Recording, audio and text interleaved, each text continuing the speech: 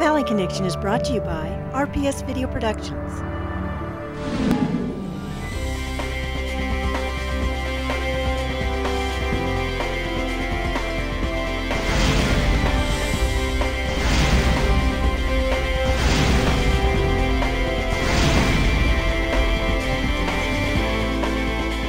Welcome to this edition of the Valley Connection, a monthly show where we spotlight our Valley's issues, concerns, and events. I'm Nancy Lopez. And I'm Cesaria Hernandez. And Nancy, already back to school time? I know, it goes quicker and quicker every summer. Oh, and every summer, hotter and hotter. Ooh. Oh, yeah. this was a bad one. this was. well, we've got a great show planned for you. And first off, I am out at the Hemet Museum. That's right there at the corner of State Street and Florida Avenue at the old Hemet Depot station. And I was out there with our local historian, Rob Lindquist, learning all sorts of fascinating facts about Hemet. And then Alan Borders had a very fun fundraising event just locally. That's right, a very important one too. This was a fundraising event for the Vietnam Veterans Memorial Fund. And what it's set up to do is to honor our fallen Hemet and San Jacinto soldiers in Washington, D.C. And Alan's going to tell us all about that in his piece. And then I got to sit down with Susan Watson, who is the executive director for the San Jacinto Chamber of Commerce. And we got to talk about local business, the economy, all those fun things. Oh, a lot of things to talk about. So you're going to want to stay tuned because we've got that and a lot more coming up right after this.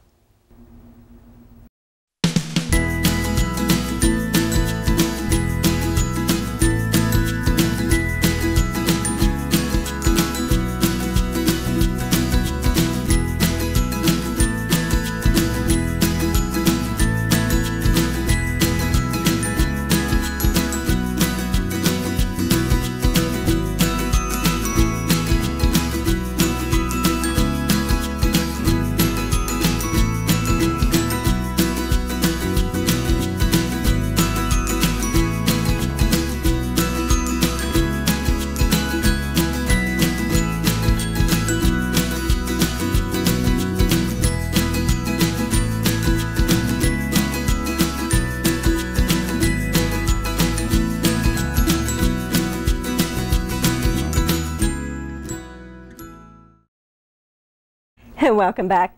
Cesaria, there is so much local history right here in our valley. Oh, yes, there is. And we got to go out and look at some of it out there at the Hemet Museum.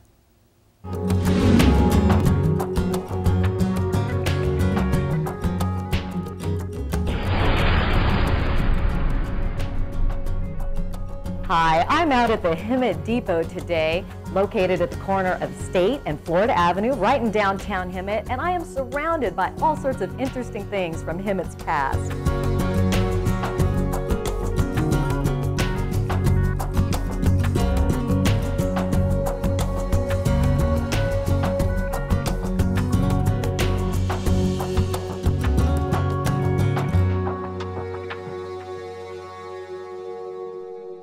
Joining me now is Rob Lindquist, president of the Hemet Heritage Foundation. And Rob, let's start off today by talking a little bit about the depot. All right, Cesaria. The depot, this one is the second depot. Actually, the, there was probably a, a, a very early depot. The first really significant depot was built in 1906.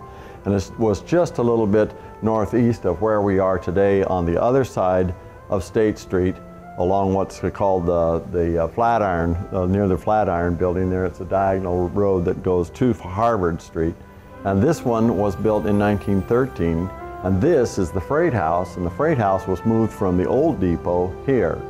And this was a remarkable structure, and it was ideal, uh, at least from the standpoint of, of its association as much as anything, but it also gave us a good uh, uh, structure in which to house our museum artifacts and our archival uh, displays. Well, it certainly is an ideal location. My goodness. Let's talk about some of your favorite pieces of the collection. Well, this is an old-time telephone switchboard, and the uh, switches and connections were made with these jacks, and the woman spoke, or the woman operator spoke through this little, uh, this little microphone, which is almost like a little horn. This electronic microphone very early. Well, I know that a lot of the pieces here in the museum relate to the Native American culture that we have here and oh, also oh, yeah. to the, the, to the railroads. that went through here. Railroads, a, a Native American culture, the early farming communities, uh, the agricultural enterprises that were uh, offshoots of that, including the packing house and the, uh, and the uh, uh, all the, the storage buildings and, and structures that were part of Old Hemet that were involved with the, with the harvesting and the processing of crops. Well, I know that this is one of your favorite pieces here. Let's talk just a oh, moment wow. about this. Yeah, this one, this one's amazing. This is a, uh, a bicycle, and it's, uh, it's uh, an, an, American Rambler. I looked it up uh, and did a little research on it, uh, but it was on the Rawson Ranch southwest of Hemet. And it is an early safety bicycle. It's built in 18, it was constructed in, uh, in 1891 or 92. Wow. And now, this is a wonderful piece here too, Rob. This has, Soboba has so much history here in oh, our yeah. valley. Oh, yeah. And we have a special section devoted just to them. Mm-hmm. Well, some of these pictures here, these are archival. They're just precious. Uh, one in the, in the center is of uh, Ramona Lubo, uh, who is um, the, uh, uh, a member of the Cahuilla tribe up in, up in Anza. And uh, she passed away, I think, in the early 1920s. Uh, and she was the counterpart in Helen Hunt Jackson's story uh, of the uh, Ramona and Alessandro, of, and of which course, you're very familiar. And we also have all and, of the Ramona memorabilia and, back here too. Yes, and also these wonderful uh, Indian Ollas. Uh, this one uh, came through the Egan family, from the Donald Egan family. This was found in the mountains east of Hemet in just after World War II and uh, it's a water uh, uh, water storage Olla, and it's the size of it is just tremendous. Uh, this was just recently acquired. It shows that our that our displays are not static, and we we continually collect new items. Uh, just amazing that these things survived. This is a pestle from from a mortar, and there are such things as this is a little mortero for a mortar a grinding rock that uh, has had lots and lots of loving use by some grandmother in, in the Indian tribes many, many, many years ago. Uh, we have a very good collection of Indian baskets. Uh, these are of the California style, the southwestern style, and uh, some of them are Cahuilla, some of them are Luiseno, some of them are from other places. But the most amazing characteristic of these, particularly the ceremonial baskets, uh, is their weave. Uh, the weaving on these baskets is so intricate and so beautiful.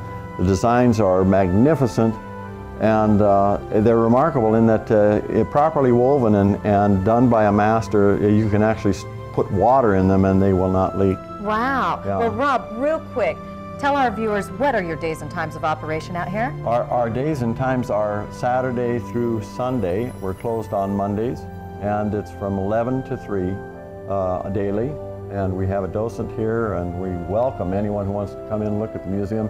It's very eclectic. There are all kinds of things to look at.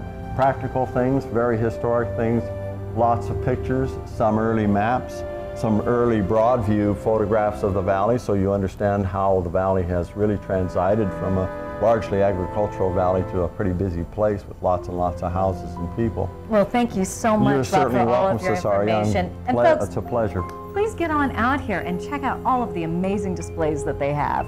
We're going to be right back with more of the Valley Connection right after this. White Feather Investigations has been serving Southern California since 2002. We are a success-oriented agency and are experience-driven with a documented track record of positive results.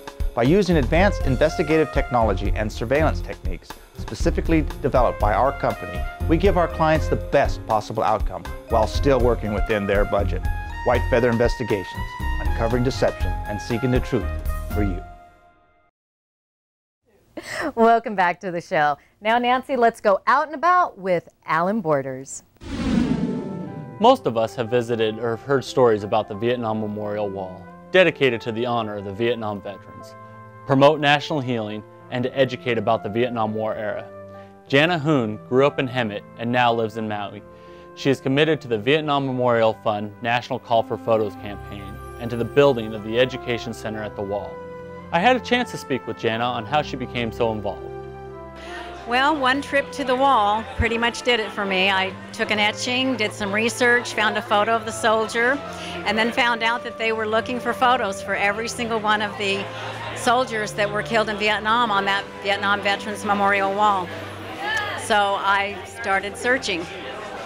I was asked by the, uh, once I sent the photo in for the gentleman that I etched, uh, Jan Scruggs, the founder and president of the Vietnam Veterans Memorial Wall, asked me if I could help find the Maui fallen soldiers. And I was happy to do so. It was a true honor, and I just, it took me six months, but I found all 42 of them, and then I started on the Hemet and San Jacinto Boys because I was born and raised in Hemet. The fundraiser was a great success and had a tremendous turnout. Sitting at the same table were two vets who realized they were on the same ship at the same time. They shared with us some of the memories they had during their deployment. I've met two gentlemen that just met each other after 47 years of being apart. How are we doing tonight, guys? Doing one wonderful, fantastic. Fantastic. It's going great. All right, so where did you gentlemen first meet each other? Actually, we just first met here tonight that we remember. Probably 47 years ago, we were on the same ship in Vietnam. The saltiest ship in the fleet, USS Morton, DD 948. And uh, we, you know, you lose names, you lose track of names and all that after that much time goes by, but we were in the same division. And the odds on this are, you know, astronomical. He was a ship serviceman, I was a personnelman that takes care of yeoman work and uh, records and things. And yeah. Same division, S division. Yeah. And so, what do you guys remember about the, the, time that you guys spent together on the same ship? Hong Kong. A, lot of good and bad. I remember being attacked the second night we were in the in the uh, Gulf of Tonkin, and uh, you know that's one of the bad times versus the good. But like that, we had a lot of good. Yeah, we had a lot of good times. The Philippines and all that, but but uh, in the typhoon weather that we went in with, the ships going just going bananas, going up and down, sideways. Have to walk through it. Having the uniqueness to have one of the one of the best captains we had at that time in, in the service. We'd have uh, we'd have we'd go fishing off the back of the ship. We'd have steak fries. We have pictures of skiing behind a destroyer. You don't do this kind of stuff in the Navy, but we had a captain that did that. Wasn't that great? What a small world. The Education Center at the Wall will use photos and stories of over 58,000 men and women on the wall, including six from Hemet, to tell the story of the Vietnam veteran and to educate the future generations on their sacrifices. They're trying to get a photo for every single one, so they've, they've collected over 30,000 photos. We still need to find 28,000 or so photos of the fallen from the Vietnam War and I know they're out there. We just have to find them, and that's what I'm working on. I'm going to work on the rest of the Inland Empire. Um, a little bit hard from Maui, but I'll I'll get it done. Yeah. For more information on the National Call for Photos campaign, contact them through their website, buildthecenter.vvmf.org. Welcome to the Patio Plaza, home of the City of San Jacinto Chamber of Commerce. We offer a wide variety of businesses, organizations, and a restaurant to serve you. The Patio Plaza has been locally owned and operated since 1976, centrally located between Menlo and Esplanade, amongst a garden setting. Enjoy the experience of the Patio Plaza.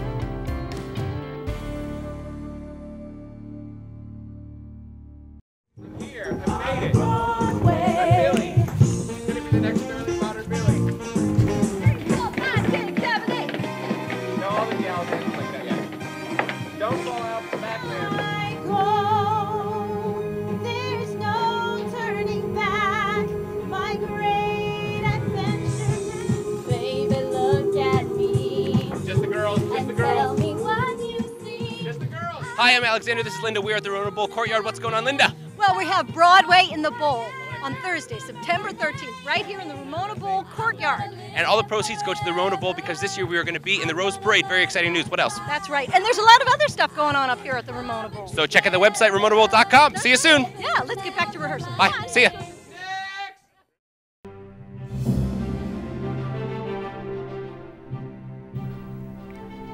On July 14, 1937, our San Jacinto Valley woke up to the sounds of an engine from a Russian plane that had landed in a pasture in San Jacinto, just off of Cottonwood. the Russian pilots attempted a non-stop long-distance flight over the North Pole from Moscow. The men flew 6,305 miles in 62 hours, breaking the record held by the French. For this 75th anniversary of this historic event, many people came out to celebrate memories and photos along with great speeches on this Russian transpolar flight from Moscow to San Jacinto in 1937. The large turnout included 20 plus people who actually were there at this historic event. Some of them signed a replica model airplane that will be displayed at the San Jacinto Museum. There was an estimated 4,000 people that witnessed that event in 1937. Some of those that were attending the 75th anniversary still remember it like it happened yesterday. We also had a chance to speak with two Russians who were taught about the flight during their school years in the Soviet Union. We found out uh, by the internet. We received an email with information and flyer about this event and we decided to come because uh, when we were during our childhood, we read about and learn about this in school, in history books, about this city, about this event. We saw a lot of pictures and we knew about this, but we never can imagine. But then one day we can come and touch this plane and see this monument with ourselves. That's why we decided to come. And we are very happy that we are here and it was a wonderful event and it's a pleasure to be here, to touch and to um, shake a hand to the people who was here during this day 75 years ago. We'll wrap it up with what has been called a super find in the archives of the Old Martin Theater a newsreel of the actual footage made in 1937 of the Russian plane landing. A new non-stop distance record is established as three Russian flyers land in a cow pasture near San Jacinto, California, after a polar flight from Moscow. Their gasoline line leaking, the trio landed 600 miles from Moscow, 40 miles south of Los Angeles. The huge single-motored plane was undamaged in landing, though a fuel tank was punctured, spilling what gas was left.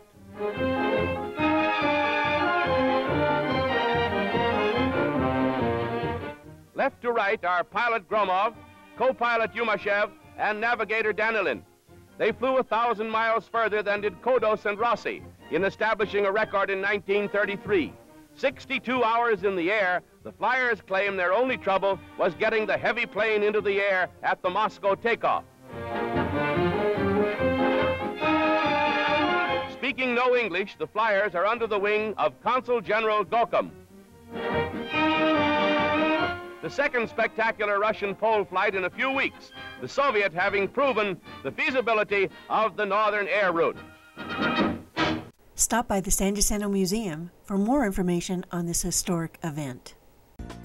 In recognition of National Employee the Older Worker Week, Goodwill Southern California Workforce and Career Development and Riverside County Office on Aging are pleased to announce the first annual Employment Resource Fair. This public event takes place on Thursday, September 27th from 10 a.m. to 2 p.m. at the YMCA J. Simpson Center in Hemet. The Employment Resource Fair offers Hemet and Menifee Valley local residents an opportunity to meet and network with employers and businesses who are currently recruiting candidates. All job seekers will have access to employers, workshops, and employment resources. Job seekers and employers, join us on Thursday, September 27th at the YMCA J. Simpson Center. Lunch will be provided and take advantage of the no-cost health screenings, workshops, and valuable information about your community resources. We'll see you there.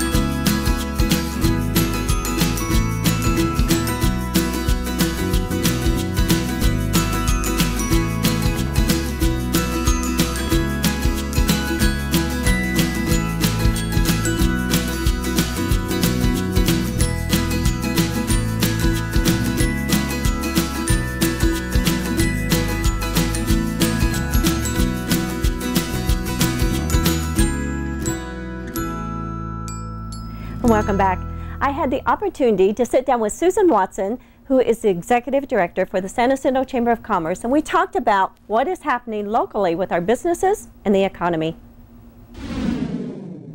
Someone who certainly has her finger on the pulse of what's happening in the Valley is none other than the Executive Director for the San Jacinto Chamber of Commerce, Susan Watson. Welcome, Susan. Glad you could be with us. Thank you so much. We're going to start off with, okay, hopefully nothing too bad, but how are some of the businesses doing here in the Valley due to this recession?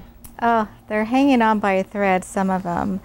But most of them, I feel very confident that they are pushing forward um, utilizing what they have and, and basically going to survive mm-hmm. this time. Well, what are some tips for businesses that are struggling? I mean, do you have any ideas or things that might help a business to get through all this? Well, they do have to be creative, mm-hmm. um, go outside their comfort box.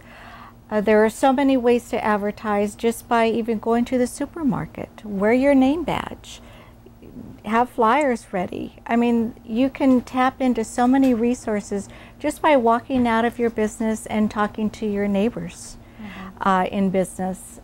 It's it's such a delight to find and get to know the owner of a business. Mm-hmm. Yeah. Because you think you're special and they will think you are special. So it's wonderful. So talk it up. Get out there and yes. you know, word of mouth I guess is a, Don't a be afraid way to, to advertise. advertise. yourself. Yeah, exactly. You, know? you, are your best form of advertisement.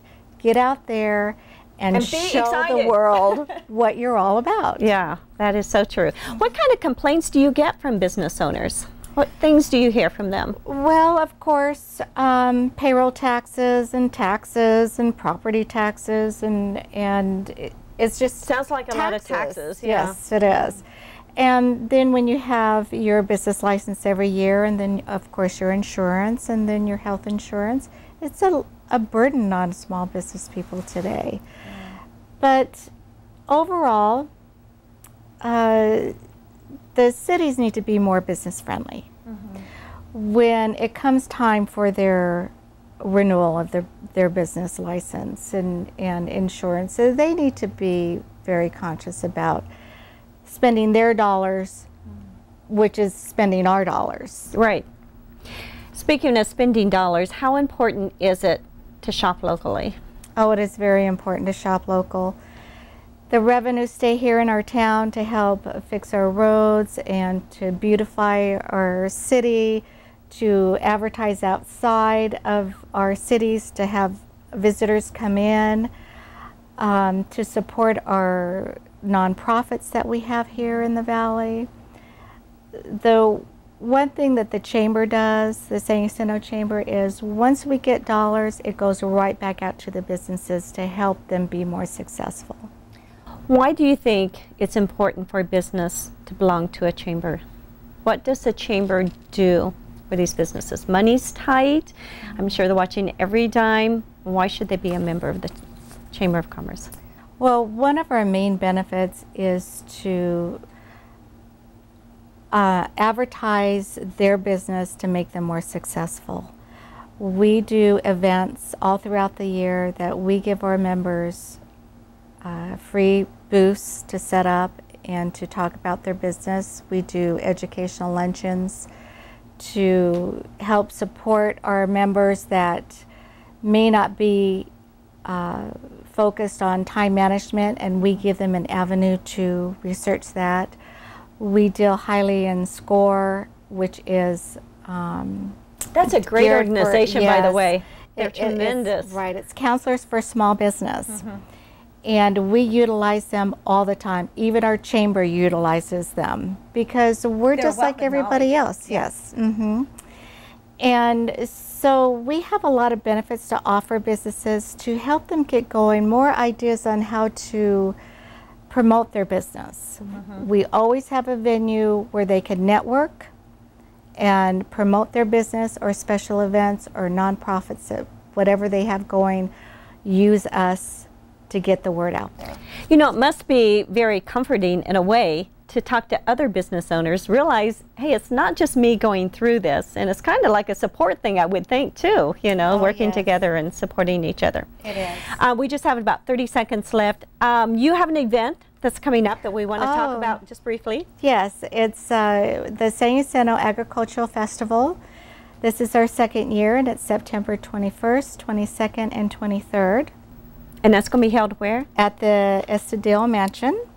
And there's going to be a carnival for the kids. It's all family oriented. Get those families out there. Have fun with your families.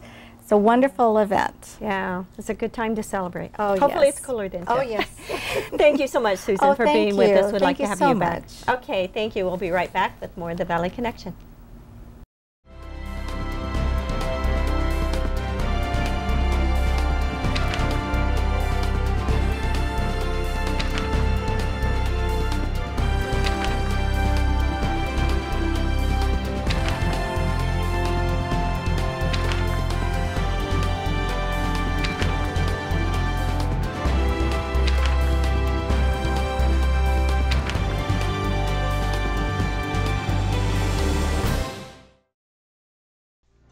Hi, I'm Roger Schultz, Superintendent President of Mount San Jacinto College. I invite you to look at the programs and services MSJC has to offer the businesses and residents of our 1700 square mile district. As your community college, we are familiar with the business needs of our communities. We have developed programs tailored to our unique region, helping students become qualified for the jobs you're trying to fill, enhancing current job skills to maintain productivity, and providing employers with a pool of qualified job seekers. MSJC provides the education your staff members need to remain qualified in their jobs or to take their education to the next level through our transfer programs to a four-year university.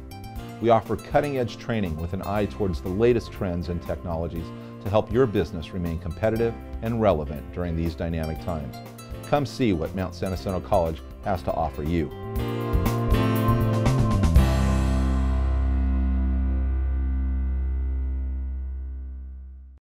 Welcome back. Now, as we close the show, Nancy, we would like to thank everybody who made this show possible. And please go to our website if you would like to view this show again or see many of our previous shows. And you can do that by going to the website at thevalleyconnection.net. And as we close, we want to have a gentle reminder to please, when you're out there shopping, think shop local first. We That's need money right. in our valley. That's right. Keep your tax dollars right here. Also, folks, it is back to school time, as we've already mentioned. Please drive carefully out there. There's going to be a lot more pedestrians, so please drive with care. And thank you for joining us. And please join us next time for more of The Valley Connection.